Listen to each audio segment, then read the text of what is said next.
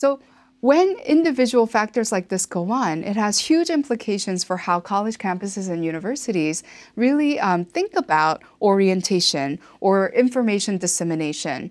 Um, and it also helps us to think about mental health literacy that students bring um, when they come to us. So by virtue of social capital, certain students are going to have a great awareness about exactly where to go, whom to see, when to seek them, um, at what level of symptoms they should go. They have a great mental health literacy when it comes to seeking help. For students of color, oftentimes, again, because this is therapy and counseling, psychology, all of these things. Um, in itself is a very Western concept um, based on middle and upper class. Uh, you can imagine how there's a disconnect in the way that students of color and many diverse groups are going to approach this. And so um, but what's important is that research actually looks at it, does it work? Does therapy and counseling and seeking help in these ways work for all sorts of people? And over and over again, research shows that it does.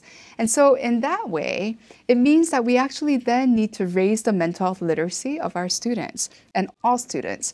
Um, and mental health literacy really talks about whether a student can obtain, process, understand mental health information and services um, that's needed to make appropriate decisions are they and do they um, are they armed with the information they need to be able to go and seek the help that they need um, in the manners that work for them? Um, and so it has a little bit to do with empowering. It also has a lot to do with creating a climate on your campus where going to seek help is okay and that there isn't judgment about a people's racial group just because somebody within that group is going to seek help